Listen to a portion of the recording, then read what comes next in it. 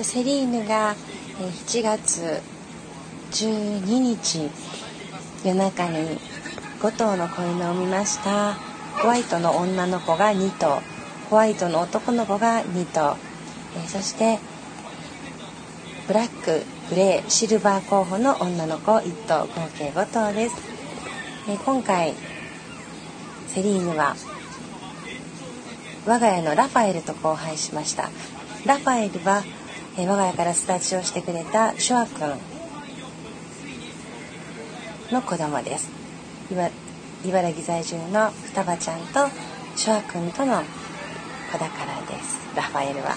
ですからえー、私たちの系列でいうとショア君のお孫ちゃんでホワイトが出ました。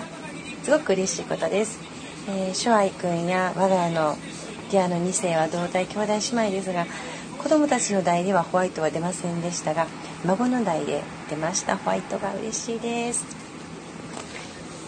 チェリー頑張ったね、えー、セリーヌは元気です。